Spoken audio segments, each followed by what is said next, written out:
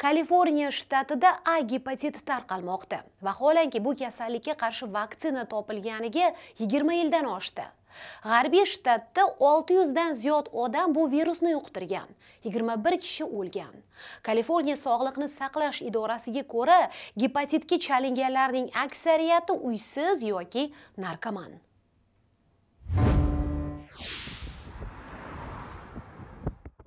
Ko'chada yashaydigan odamlar uchun eng oddiy ehtiyojlarni qondirish ham muammo. Jl to'rt yildan beri boshpanasiz. Qo'lni yuvadigan joy yo'q hojatxonalar yo'q.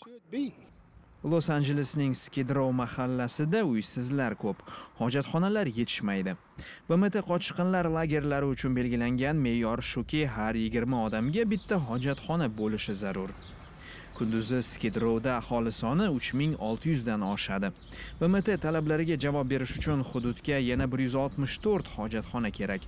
Rasmiy ma'lumotlarga ko'ra kechki payt uysizlar soni 1700 ga tushadi. Ular uchun atigi 6 tualet ishlab turadi xolos. Shahar ma'muriyati biz hojatxonalardan foydalanishimizni istamaydi.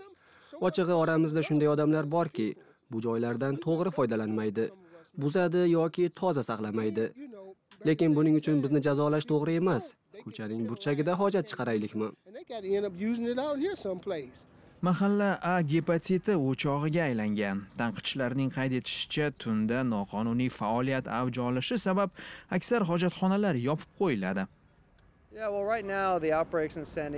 San diego va los anjelesda gepatit tarqalishi sanitariya qoidalariga rioya qilmaslikdan virus odamdan odamga yuqadi hojatxonadan foydalangandan so'ng qo'lni yuvmaslikdan kelib chiqadi.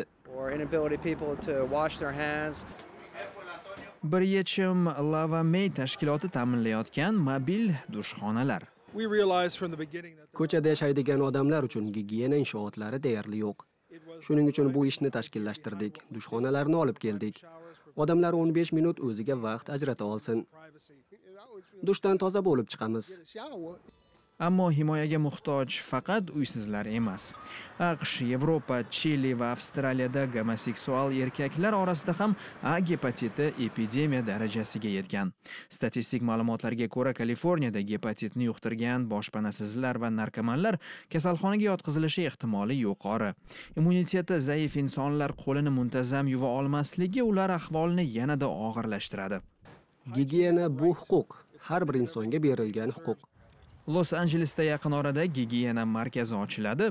Hojatxonalar va ijtimoiy xizmatlar kuniga 24 soat ochiq bo'ladi deydi rasmiylar.